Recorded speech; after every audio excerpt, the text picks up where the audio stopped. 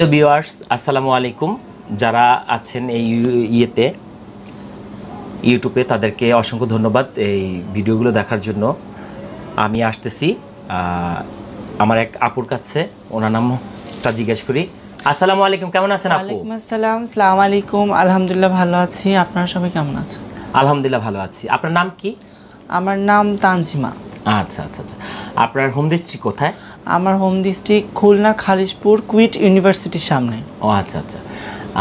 আপনার যে নামটা তানজিমা এই তানজিমা নামটা তানজিমা নামের আগে কি কোনো নাম ছিল আপনার? হ্যাঁ অবশ্যই। আমার বাল্যকালে যখন আমার জন্ম হয় জন্মের পর আমার বাবা মা আমার একটা নাম রাখে।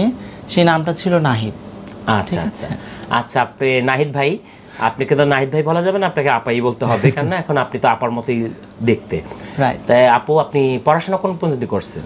আমি ক্লাস ফাইভ পর্যন্ত পড়াশোনা করেছি। আচ্ছা আচ্ছা কোথায় পড়াশোনা করছেন? আহ, এটা খুলনাতেই খুলনা ওইখানে আর আর এফ নামে একটি স্কুল আছে আর এফ উচ্চ বিদ্যালয় ওইখানে। আচ্ছা তাই আপনার আজকে আরি আপনার নাম ছিল নাহিদ। নাহিদ থেকে আপনার নাম হচ্ছে তানজিমা। ঠিক আছে? তো তানজিমা নামটা থেকে আসলো আর আপনি এই যে আপনার লুকটা চেঞ্জ করছেন কীভাবে? এটার কোনো রহস্য আছে? কোনো কাহিনী? অবশ্যই আমার জীবনে অনেক মানে আমার বয়স একুশ বছর হয়নি, বিশ বছর রানিং আমার এই বিশ বছরের মধ্যে আমার জীবনে অনেক ঘটনা ঘটে গেছে। আর আজকে আমার পরিবর্তনটার কারণ, আমি ছোটবেলায় ছিলাম একরকম, আর যেরকম ছিলাম সে তখন আমাকে সমাজ মেনে নিতে পারেনি। কেন? সমাজ মেনে নিতে পারেনি? সমাজের কি ক্ষতি করছে যখন আমি জন্ম হয়েছিলাম তখন আমি একটা পুরুষ পুরুষ ছেলেই ছিলাম। যখন আমার জন্ম হয় জন্ম হওয়ার পরে আমার বাবা মা জন্মের পরে ইমাম ডেকে আজান দিতে হয়। তখন হুজুর আসলেন হুজুর এসে কাপড় উঁচু করে দেখেন যে আমি একটা ছেলে। তখন আমার বাবা মা আমার কানে হুজুর আমার কানে আজান কানের সামনে আজান দিয়ে তখন আমার একটা নাম রাখা হয় নাহিদ। আচ্ছা, ঠিক আচ্ছা, আছে? তখন থেকে আমি আস্তে আস্তে যখন বড় হতে লাগলাম তা বড় হওয়ার পরে যখন আমি স্কুলে যাওয়া শুরু করলাম সব কিছু বুঝতে শিখ- শিখলাম তখন থেকে আমি ছোটোবেলা থেকে আমার মনটা ছিল একটা মেয়েদের মতো। ঠিক আছে? আমার দেহটা যেটাই থাকুক না কেন একটা মেয়ে যদি বোরকা পরে তার ভিতরে কি আছে না আছে সেটা দেখা আমাদের ইয়া নাই। কিন্তু বাহিরে যেটা দেখতেছি সেটা কিন্তু একটা বোরকা কালো বোরকা। তেমন তেমনি আমার ভিতরটা কেমন ছিল সেটা সমাজ বুঝে নাই এবং আমার প্রতিবেশীও বুঝে নাই। কিন্তু আমার ভিতরটা ছিল একটা মেয়েদের মতো। আমি মেয়েদের মতো সাজতে পছন্দ করতাম মেয়েদের মতো হাঁটাচলা পছন্দ করতাম মেয়েদের মতো ঘরের কাজ কাম করতে পছন্দ করতাম মেয়েদের খেলাধুলা পছন্দ করতাম এটাই। তারপরে এভাবে করে আমি যখন ঘরের ভিতরটাই থাকা শুরু করলাম, ঘর থেকে আম্মাকে দেখে আম্মার সাথে সাথে কাজ করতাম, ঘর দৌড়ে কাজ করতাম, রান্নাবান্নার কাজ করতাম। আমার আম্মা তখন প্রশ্ন করতো যে, বাবা, তোমার এই কাজটা তোমার না। এটা এটা একটা মেয়ের কাজ, ঠিক আছে? তুমি পড়াশোনা করো, তুমি খেলাধুলা করো, ছেলেদের যে কাজগুলো তুমি সেইগুলো করতে করো। কিন্তু আমি তখন অপারক ছিলাম। কারণ আমি যেটা করতে যেতাম, এটা আমাকে সমাজ করতে দিত না। যখন আমি স্কুলে আমার বাবা মা ভর্তি করে দিয়ে আসলো, তখন আমি রেগুলার ক্লাসে যাইতাম, স্কুলে যেতাম। স্কুলে যাওয়ার পথে অনেক লোকে যেমন পাবলিক থাকে, তখন বলতো, আমি প্যান্ট শার্ট পরে যাচ্ছি। কিন্তু বলতো যে, দেখো একটা মাইগা হাফ লেটিস হাইটে যাইতেছে। ঠিক আচ্ছা, আছে? আচ্ছা, তখন আমার কাছে শুনে খারাপ লাগতো। তখন যখন আমি স্কুলে গেলাম স্কুলে স্কুলের ভিতরে ঢুকলাম ঢোকার পর ক্লাস করলাম তো দেখতাম আমার আর পাঁচটা ফ্রেন্ডও আছে ছেলে ফ্রেন্ডও আছে পাঁচটা মেয়ে ফ্রেন্ডও আছে এক ক্লাসের মধ্যে। তো যখন আমি ছেলেদের কাছে যে বসতাম তখন বলতো যে তুমি তো হাফ লেডিস তুমি ও মেয়েদের কাছে আমাদের কাছে কেন আসো? ঠিক আছে? তখন আমি কি করব? তখন আমি আমার নিজের মতো করে থাকতাম। আচ্ছা তখন মেয়েদের সাথে মনে করেন মানুষের চলাপথে কিছু ভালো বন্ধু দরকার হয়। ঠিক আছে? যখন আমি ক্লাস করতে বসতাম যদি আমার কোনো পড়াশোনার কোনো একটা সাবজেক্ট জিজ্ঞাসা করা দরকার ছিল যদি কোনো আমার ফ্রেন্ডের কাছে যাইতাম আমার ফ্রেন্ড বলতো তুই তো একটা হাফ লেডিস তুই যা ওদিকে যা মেয়েদের কাছে যা।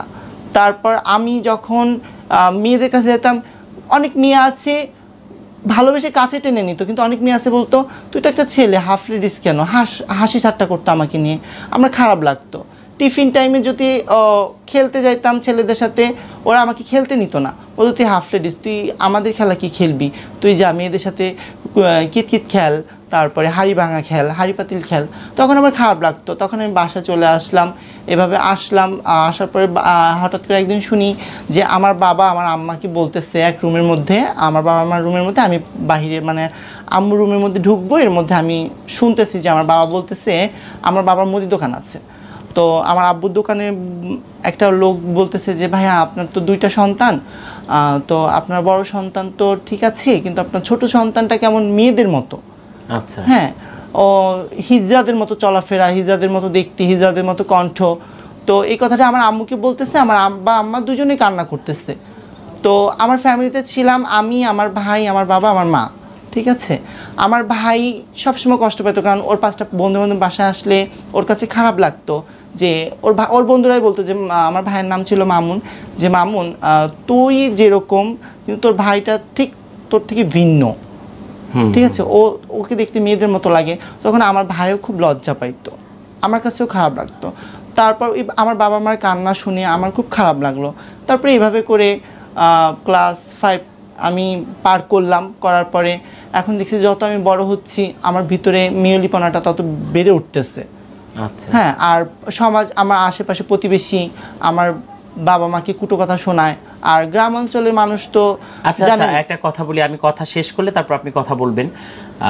আপনার ফ্যামিলিতে আমি জানি গ্রাম দেশের মানুষ একটা বৈঠক বসায় যে কোনো ফ্যামিলিতে একটা খারাপ কিছু দেখা গেলে তারা এক ঘোরা করে দেওয়া হয়। আপনাদেরকে কি আপনার কারণে কি আপনার ফ্যামিলিকে এক ঘোরা করে দেওয়া না সেই পর্যন্ত যাওয়া হয়নি। কারণ ওই যে আমার মধ্যে আল্লাহ তালা আমার মধ্যে একটা জ্ঞান দিয়েছিল। যেই কারণে আমি ওই যে বললাম যে আমার বাবা মা যখন এক রুমের মধ্যে কান্নাকাটি করতেছে ওইটা ওই জিনিসটা আমি দেখেছি। তখন আমি মনে করলাম যে আজকে আমার জন্য আমার বাবা মার চোখের পানি আজকে আমার বড় ভাইয়ের জন্য কিন্তু আমার বাবা মার চোখে পানি নেই। ঠিক আছে? আজকে আমার জন্য কেন থাকবে? আর আমি যদি দিনে দিনে আরও বড় হই আমার বাবা মা হয়তো বা মানুষের কথা শুনে হয়তো বা তারা আত্মহত্যা করবে হয়তো বা আচ্ছা। গলায় দড়ি দিবে। কারণ একটা লজ্জা। এই ধরনের ঘটনা কি ঘটেছে? আমার মনে হয় ঘটেছে। অনেক বাবা মাই তো কষ্ট পেয়েছে। যেমন আমার এলাকায় ছিল আমার এক ফ্রেন্ড ছিল আমার মতো। ও থার্ড জেন্ডার ছিল। ওর ও এলাকায় ছিল ওর বাবা মাকে অনেক মানুষ অনেক কথা বলেছে কিন্তু ওর বাবা মা ওর বাবা আর কি এই সমস্ত প্রেশার না নিতে পেরে উনি হার্ট অ্যাটাক করে মারা যায়। আচ্ছা আচ্ছা আপনি সেই কারণে? সেই কারণে আমি ওই ভয়টা পেয়েছিলাম যে আজকে আমার জন্য যদি আমার বাবা মাকে পাঁচটা বেশি কথা বলে মানুষ এসে আমার বাবা মাকে প্রেশার ক্রিয়েট করে তাহলে তো আমার বাবা মাও হয়তো বা এরকম কিছু একটা দুর্ঘটনা ঘটতে পারে।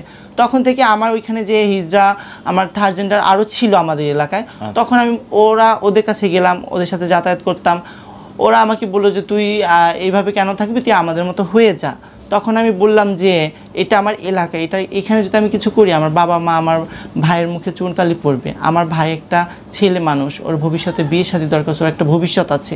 আজকে যদি আমি আমার এলাকায় এইগুলো করি আমার ভাইয়ের একটা ভালো সম্বন্ধ আসবে না। আমার বাবা মার য- যখন আমার বাবা একটা শহরের পরে একটা দোকান আছে ওই দোকানটার মানে পাঁচটা মানুষ যাবে না যে ওটা একটা হিজড়ার বাবা। আচ্ছা আচ্ছা। তখন এই সমস্ত অনেক কিছু কথাবার্তা চিন্তা ভাবনা করে তখন আমার ওইখানে যে এক হিজড়া ছিল তার নাম ছিল হচ্ছে মুন্নি। মুন্নি আপনার কাছে আমি আমার এখন যে বর্তমান যে আমার গুরু মা আমার নানগুরু এনজি হুররাম ওনার কথা শুনেছিলাম যে উনি ঢাকা শহরে থাকে অনেক ভালো। উনি এরকম থার্ড জেন্ডার মানুষদেরকে আশ্রয় দেয়, ঠিক আছে? তাদেরকে বাঁচার জন্য ভালো একটা পথ দেখায়। তখন আমি তার কথা শুনে, আমি তার নাম্বারটা তাদের কাছ থেকে নিলাম। তার সাথে কন্ট্যাক্ট আমি তখন করিনি, নাম্বারটা আমি নিয়ে রেখেছিলাম। তখন তার ছয় মাস পরে দেখলাম যে আমাকে নিয়ে গবেষণা আরও বাড়তেছে, আমার আমার ঘরের পাশে মানুষ বলতেছে, এখন দেখতেছি যে আমার ভাইয়ের বিয়ের সম্বন্ধ হওয়ারও, আমার ভাইয়ের বিয়ের উপযুক্ত হয়ে গেছে। ঠিক আছে? তখন আমি চিন্তা ভাবনা করলাম না এখন আমার ঘর থেকে বের হওয়ার সময়। আচ্ছা বাবা মা কি বের করে দিয়েছে না না আমার বাবা মা? কখনোই বের করে দেয়নি আর আমার এলাকার লোকজন বের করার চেষ্টা করেনি এবং বের করার চেষ্টা করেনি কিন্তু আবার করেছে। কেন? ওই যে পাঁচটা বেশি কথা আমার বাবা মাকে বলেছে ঠিক আছে? আচ্ছা, আচ্ছা। আর এলাকার মানুষ দশটা মানুষ একটা কথা বলা হয় যে সমান আর একজন বলা হয় সেই কথাটা একই সমান। আচ্ছা আচ্ছা আপনার কথা আরও শুনব। আপনি ঢাকায় কি করে আসলেন? হ্যাঁ তারপরে যখন ওই যে নাম্বারটা চাচ্ছি। নাম্বারটা আমি বয়সটা কত ছিল? বয়সটা কত তখন আমার বয়স ছিল প্রায় ষোলো ষোলো বছর ছিল। আচ্ছা। আচ্ছা আচ্ছা। ষোলো বছর ছিল। ঢাকায় কয় বছর ধরে আপনি? ঢাকা আমি আজ দু বছর ধরে। যখন আমি হুরাম আপুর নাম শুনি তখন আমার বয়সটা ষোলো ছিল। তার কি কয়েক দেড় বছর পরে আমি একবার তাকে ফোন দিয়েছিলাম তার সাথে কথা হয়েছিল। সে বলেছিল আসতে। ঠিক আছে? তখন তার সাথে কথাবার্তা বলার পরে আমি বলেছিলাম হ্যাঁ গুরুমা আমি এরকম এরকম এই এলাকা থেকে বলছি। আমার অনেক কষ্ট আমার বুকের মধ্যে অনেক কষ্ট আছে আমি এই সমাজের সাথে চলতে পারতেছি না সমাজ আমাকে মেনে নিচ্ছে না।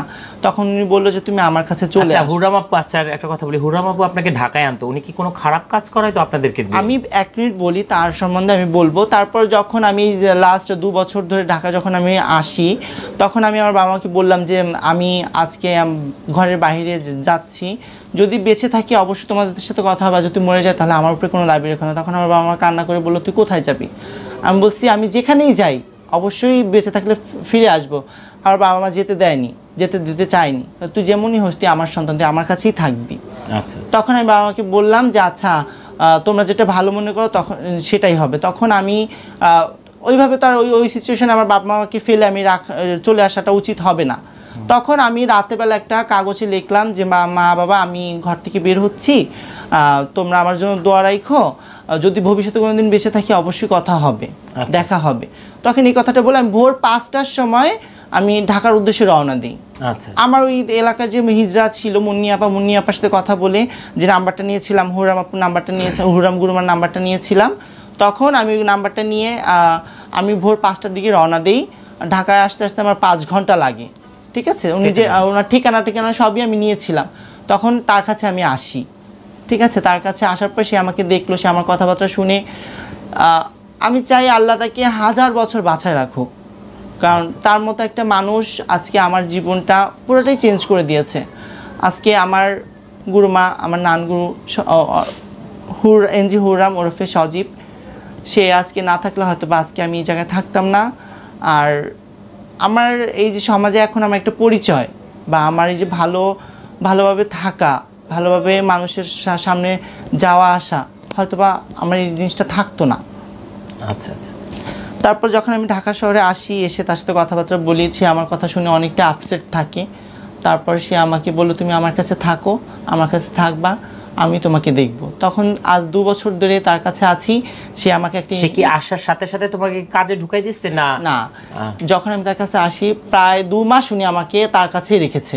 সে আমাকে নতুন জামা কাপড় কিনে দিয়েছে তার কাছে রেখেছে সে এক জায়গায় ভালো জায়গায় গেলে আমাকে নিয়ে গেছে। তার কোনো যে কোনো জায়গায়। এভরিথিং ইজ তার যে কোনো জায়গায় ভালো হোক মন্দ হোক সে সব জায়গায় আমাকে নিয়ে গেছে। সে আমাকে দেখে আমার তার অনেক দয়া হয়েছে। তার সাথে আমার আপনি যে বললেন মন্দ জায়গা মন্দ কোন জায়গায় নিয়ে গেছে আপনি ভালো মন্দ এটা তো কথার কথা। আচ্ছা। আমি কথার কথা আসে না যে ভালো মন্দ? এটাই বললাম যে ভালো মন্দ। ভালো জায়গায় তো সে নিয়ে গেছে। আজকে সে ভালো জায়গায় নিয়ে গেছে বিধায় আমি আজকে আপনাদের সাথে ভালোভাবেই বসে আছি। সে যদি মন্দ জায়গায় নিয়ে যেত তাহলে কিন্তু আমি আজকে মন্দ জায়গায় থাকতাম। ভালো জায়গায় কিন্তু আসতে পারতাম না। তাই না? তো যখন তার কাছে আমি আসি প্রায় দুই তিন মাস তার সে আমাকে বসা বসায় খাওয়াইলো রাখল তার কাছে আদর স্নেহ দিল। তখন আমার বাবা মাকে আমি ফোন দিলাম যে বাবা মা আমি যেখানে আছি ভালো আছি তোমরা দোয়া করো। তখন আমার বাবা বললে কোথায় আছিস? আমি বলি ঢাকায় আছি। আমার এখানে তুমি যেমন আমার বাবা মা এখানে আমার একটা গুরু মা আছে তারা সে আমার দেখাশোনা করতেছে তার সন্তানের মতো। তারপরে আমার বাবা মা কান্নাকাটি করল। তখন এখন কি কি করব? এখন যদি আমি আমার গ্রামে ফিরে যাই আমার বাবা মার ইজ্জত আমার ভাইয়ের ইজ্জত। তারপরে গ্রামে যান না? হ্যাঁ প্রায় এক বছর পরে টাকা পয়সা দিতে হয়? আমি এক বছর পরে আমার গ্রামে গিয়েছিলাম, যাওয়ার পরে আমার বাবা মা দেখে তো আমাকে চিনতে পারে নাই। চিনতে বাবা মা কেন পারবে না? অবশ্যই পারবে। হঠাৎ করে যখন গিয়েছিলাম, আগে ছিলাম এক লোকে, এখন গিয়েছে আর এক লোকে। আমার মা, বাবা মা একটু কষ্ট পেয়েছিল। তারপরেও আমার বাবা মা একটা কথা বলেছে, আমার সন্তান যেমনই হোক, আমার সন্তান। আচ্ছা এখন কি আপনার বাবা মাকে প্রতি মাসে খরচ পাঠান আপনি হ্যাঁ আমি নিজে আমার এনজি হুরাম আমার গুরুমা যখন আমাকে একটা ইনকামের রাস্তা দেখায় দিল যেমন কি? এর ইনকামটা হচ্ছে গিয়ে যেমন আমাদের পরম্পরা থেকে আসছে আমাদের গুরু নানগুর পরম্পরা থেকে আসছে যে বাচ্চার বকশিস তারপর বিয়ে বাড়িতে নিচে গিয়ে অনুষ্ঠান নিচে গিয়ে তাদেরকে খুশি করে টাকা নিয়ে আসা এটাই আমার গুরুমা আমাকে শিখিয়েছেন কীভাবে বাচ্চার বাচ্চার বক- বকশিস আনতে হয় কীভাবে একটা মানুষকে খুশি করে তাদেরকে মানে বিনোদন দিয়ে তাদেরকে আর সুখে মানে আনন্দ নাচ গান করে কীভাবে দুইটা টাকা আমরা দাবি করব সে তারাও দুই টাকা দিবে সেই দুই টাকা নিয়ে আমরা আমরা শুনছি আপনারা নাকি দশ হাজার বিশ হাজার চেয়ে বসেন হ্যাঁ এটা দশ হাজার বিশ হাজার কোনো কথা না। যেমন আমরা যদি মুদি দোকানে যাই মুদি দোকানে গেলে এক কেজি চালের দাম যদি থাকে পঞ্চাশ টাকা, সেখানে আমরা কিন্তু পঞ্চাশ টাকা কিনে নিয়ে আসি না। আমরা তখন বলি যে পঞ্চাশ টাকা কিছু কম রাখেন। তখন যখন দেখে যে না জিনিসটা আমার বিক্রি করতে হবে, তখন কিছুটা কম দেয়। এর জন্য আমরা জানি যে এই দুই টাকা দুই টাকা চাইলে আমরা দুই টাকাই পাবো। এক টাকা আমরা বাড়ায় বলি যাতে ওই দুই টাকাই আমাদেরকে দেয়। আমরা ওই দুই আচ্ছা, টাকা আচ্ছা। নিয়ে খুশি হয়ে চলে আপনারা বিশ টাকা একটা জিনিসের দাম ওঠে ওইটার দাম মানুষের পাঁচশো টাকাও চায় তার ওইটা দামাদামি করে ওটাকে হ্যাঁ। কমায় তারপরে আনা হয়। কাটসিল করে. করে তারপরে কমায় নিয়ে আসে ওইরকম আপনারা দশ হাজার টাকা চাইলে হয়তো দুই হাজার পাঁচশো 2000, এক হাজার হ্যাঁ, আপনাদেরকে দেয় আচ্ছা ওইটাতে সর্বনিম্ন কত টাকা নেন সর্বনিম্ন সর্বনিম্ন একটা বাচ্চার বকশিস আহ, যদি মনে করি যে